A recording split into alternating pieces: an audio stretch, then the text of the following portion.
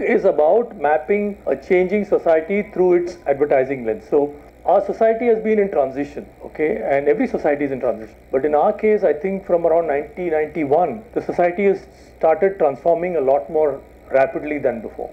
And we've been witness to this, this rapid change. You've had various other books which have been written about the changing society through various lenses. A lot of books come, but no one has looked at advertising and said, look, how is advertising reflecting changing society? So that's how the thesis started, and that's how I started working on this book. And then, for those of you academically inclined, uh, some of you may be aware of this person. Marshall McLuhan was the professor of English at uh, University of Toronto.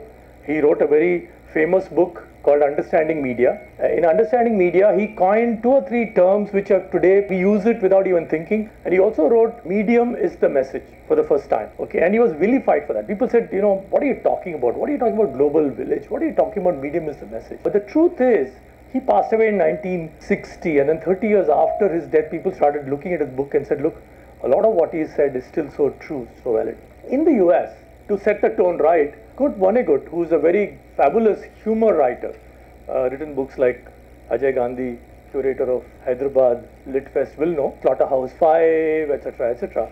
He said this, uh, that what passes culture in my head is really a bunch of commercials. So you have two contrasting views on that, but you know, what makes sense? Why does it make sense to look at advertising? Makes sense because advertising often reflects change in society. And in sometimes advertising actually predicts change in society. I have a picture of Hyderabad here. In 1991 or 92, we were looking to move office in Hyderabad. And there was one criterion which was given. Satyanarayana used to do production, media, all kinds of things uh, for us. Only one criterion was used for selecting the office. The only criterion we used was where can we get a landline phone in one month? Because in 90, you won't believe it, in 92, 93, getting a landline phone in Hyderabad, many parts of Hyderabad, there was a five-year waiting list. We have issues of poverty, we have issues of almost 35% of our children going to sleep, you know, without food in their stomach. We have illiteracy, which is still plaguing us. And of course, the, the latest big problem is jobless growth. This book is not a historical book. It's not a, it's not a history book. It's a fun book which looks at changing society through various lenses. So we've got four sections of the book. First one looks at people. Second one looks at product. Third one looks at services. Fourth one looks at advertising.